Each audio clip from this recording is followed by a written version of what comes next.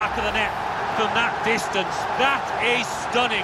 Well, he defied the odds by taking the shot on, let alone scoring the goal.